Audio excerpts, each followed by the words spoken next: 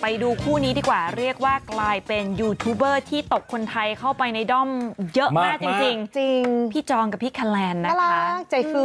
คือหลายคนก็คือเข้าไปดูคลิปตามดูกันทั้งวันเลยทีเดียวค่ะ หลายคนก็ไปสังเกตบอกว่าเอ๊ะในคลิปส่วนใหญ่ทั้งคู่เนี่ย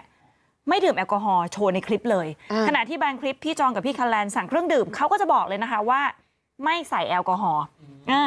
สำหรับเรื่องนี้ FC ไลน์หนึ่งก็มีการเข้ามาบอกว่า Happy Birthday พี่จอง พร้อมกับชื่นชมทีมที่ลงโซเชียลเขาบอกว่าแทบไม่มีเครื่องดื่มแอลกอฮอล์เลยน่ารักมาก ๆ ขณะที่ผู้จัดการของทั้งคู่ตอบกลับมาเลยค่ะ บอกว่าไม่ดื่มค่ะ กดเหล็ก เพื่อเป็นตัวอย่างที่ดีอืมนี้เนี่ยจริงๆในช่วงแรกๆนะคะ เคยมีคลิปที่คันแลนกับพี่จองเนี่ยไปเที่ยวเชียงใหม่ตอนนั้นมีการซื้อเบียร์มาค่ะแต่หลังจากคลิปนั้นไปนี่คือต้องบอกเลยว่าไม่เคยมีคลิปที่ปรากฏภาพการดื่มแอลกอฮอล์ของทั้งคู่เลยนะคะอืมไม่ไม่เห็นในช่องเลย น่าจะเป็นเพราะว่าแบบเด็กๆตามเขาใช่เยอะเยอะมากเขาบอกว่า เป็นแบบตัวอย่างที่ดีเขาก็จะไม่ดื่มแอลกอฮอล์อยู่ในคลิปเขาแต่ชอบดูอะตลกอะตอนนี้ชอบเขาบอกดูมันเบาสมองชอบดูทุกคลิปที่มีจูดี้สปอนเซอร์ฉ่ใช่ไหมเขาเต็มจูเลยดี้ใช่ไหมเลิศคะมากำคือเลแบบยอะแยกมาถ่ายต่างหากไม่ได้ไม่ได้ไม่ได้ไม่ได้แบบไม่ได้ถ่ายอินในคลิปนะหมายว่าอืมอืมแยกมาซื้อตัวมาทำบอกว่าไงรู้ไหมก็นี่ไงทำให้ Samsung คนรู้ว่าไงว่าตอนนี้คนต้องการอะไรเบาสมองอืมเออมันเครียดไม่หนักชีวิตหนักชีวิตมันเครียด ไม่เอาอะไรหนักงั้นแม่เราไม่ได้ตลกไหมไม่เอาเล่นไม่ได้พยายามแล้ว